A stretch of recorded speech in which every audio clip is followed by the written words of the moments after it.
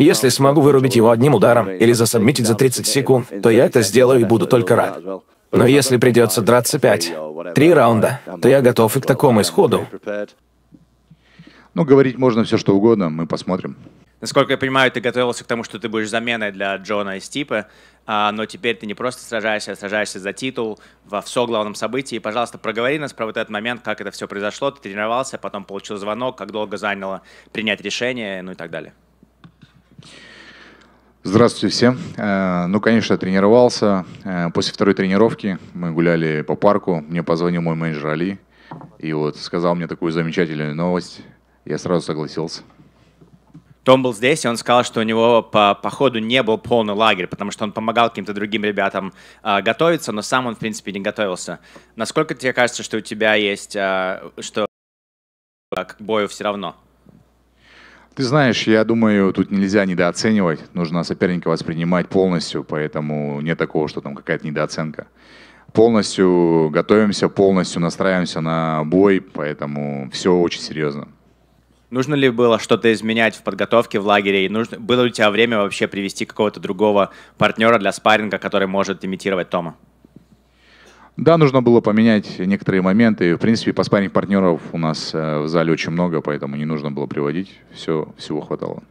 Том сказал, когда он был здесь, что ему кажется, что никогда не встречался с каким-нибудь таким оппонентом, у которого такая скорость, такая сила, как у него, и такие движения, как у него. Поэтому а, насколько ты можешь сказать что-то по этому поводу?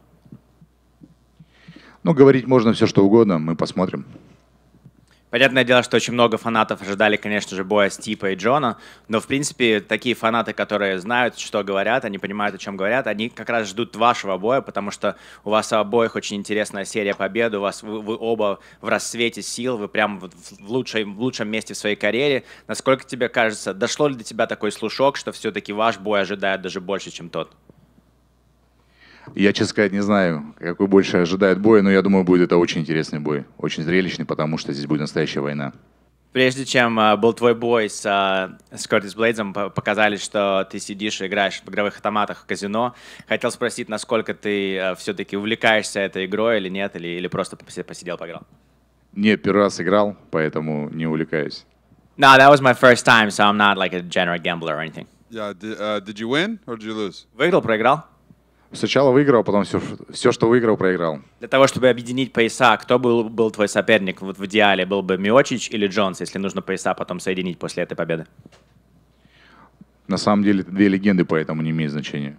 Я спросил тот же вопрос у твоего оппонента Тома, насколько ты расстроился или нет, что Джон Джонс не освободил настоящий титул, и это бой за временный титул, вместо того, чтобы биться за легитимный титул чемпиона.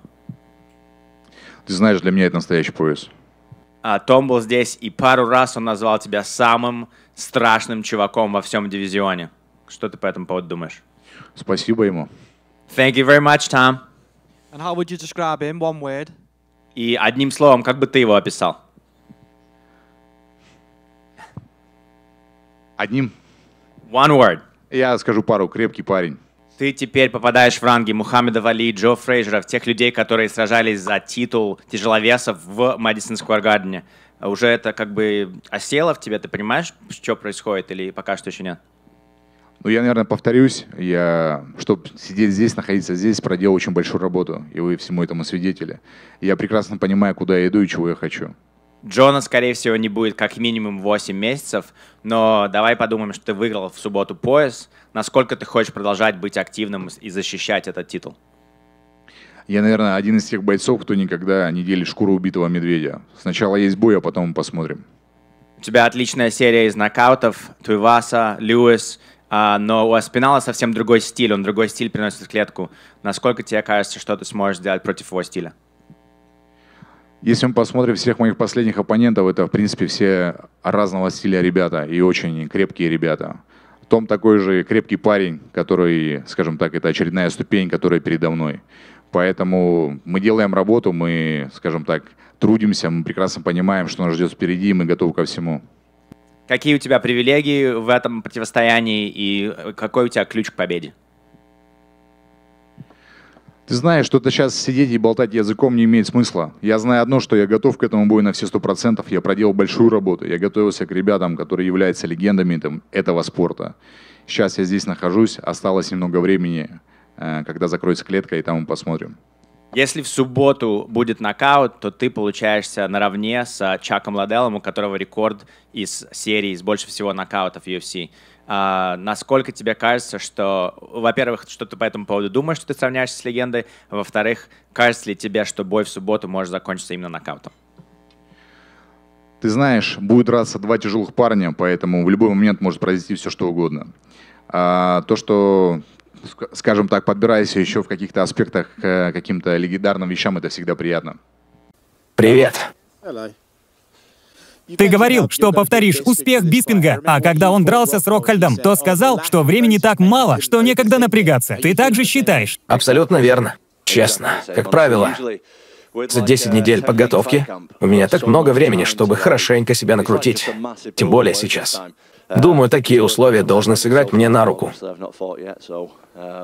Но мы поймем это только в день боя. Было довольно очевидно, что твоим соперником станет Сергей. Ты ведь готовился к бою с ним. У тебя было на это много времени. Нет.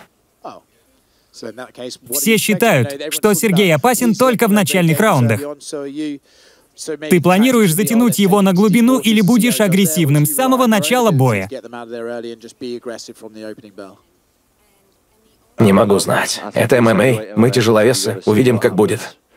Сергей такой же опасный боец, как и я.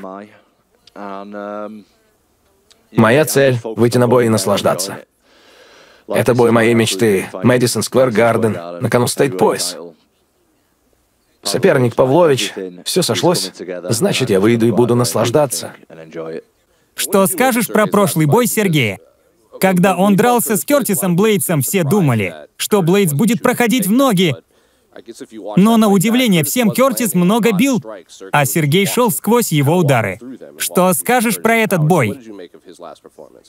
Меня тоже удивило, что Кертис не проходил в ноги, что у него получалось попадать. Может быть, он верил, что кто-то из них пропустит и потухнет. Давайте будем откровенны и признаем, что две недели — это слишком короткий срок, чтобы подготовиться. Но все-таки я пришел сюда побеждать. И я не позволю чему-то мнению на себя повлиять. Пусть болтают. Я буду драться с самым страшным парнем в ММА, я так считаю. При самых худших условиях, без подготовки, но все же. Считаю, что я могу победить. Действительно верю, что победа будет за мной. И так и будет. Я победитель, и в любой сложившейся ситуации я могу найти способ победить. Поэтому... Хоть все и считают, что я андердог, от этого моя победа и завоевание пояса будут только лучше. Я не хочу доводить даже до третьего раунда. Если смогу вырубить его одним ударом или засобмитить за 30 секунд, то я это сделаю и буду только рад. Но если придется драться пять, три раунда, то я готов и к такому исходу.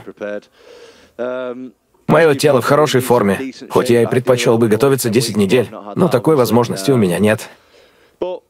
Я профессиональный спортсмен и всегда держу себя в хорошей форме. На этом все, друзья. Выпуск переведен и озвучен командой Труджим. Поддержите видео лайком и комментарием. Для нас это важно. Всем добра и удачи. Пока.